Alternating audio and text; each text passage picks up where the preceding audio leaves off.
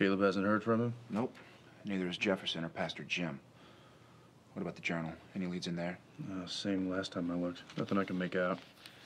I love the guy, but I swear he writes like friggin' Yoda. You know, maybe we should call the feds.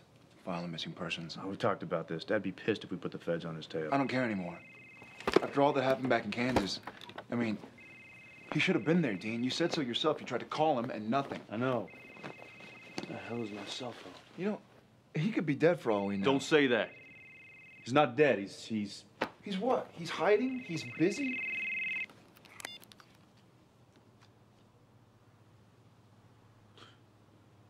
I don't believe it.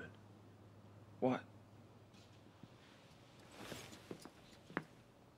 It's a, a text message. It's coordinates. You think Dad was texting us? He's given us coordinates before. The man can barely work a toaster, Dean. Sam, this is good news. It means he's okay, or alive at least. Well, was there a number on the caller ID?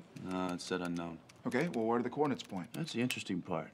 Rockford, Illinois. This is a job. Dad wants us to work a job. I mean, maybe we'll meet up with him. Maybe he's there. Maybe he's not. I mean, he could be sending us there by ourselves to hunt this thing. Who cares? He wants us there, it's good enough for me.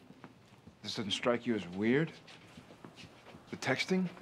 The coordinates? Sam, Dad's telling us to go somewhere. We're going.